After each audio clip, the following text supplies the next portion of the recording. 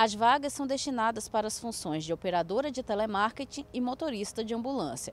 O gerente financeiro do ICIA, Júlio César, traz os detalhes sobre o processo seletivo. Para operadora de telemarketing, é preciso que tenha o segundo grau completo ou superior, em que você vai desenvolver técnicas de conversa com os doadores, é, captação, para que o ICIA cria a sua sustentabilidade. E a outra vaga é para motorista de ambulância.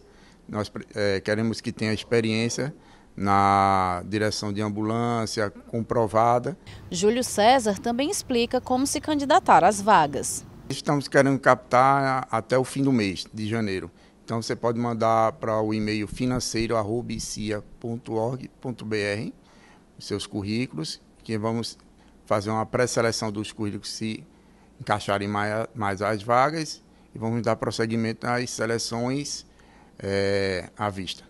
Ouvimos Júlio César, gerente financeiro do ICIA, que trouxe as informações a respeito do processo seletivo para o preenchimento das vagas de motorista de ambulância e operadora de telemarketing. Lembrando que os currículos devem ser enviados para o e-mail financeiro@icia.org.br. Viliane Gomes, Rádio Cidade. Todo mundo ouve, todo mundo vê.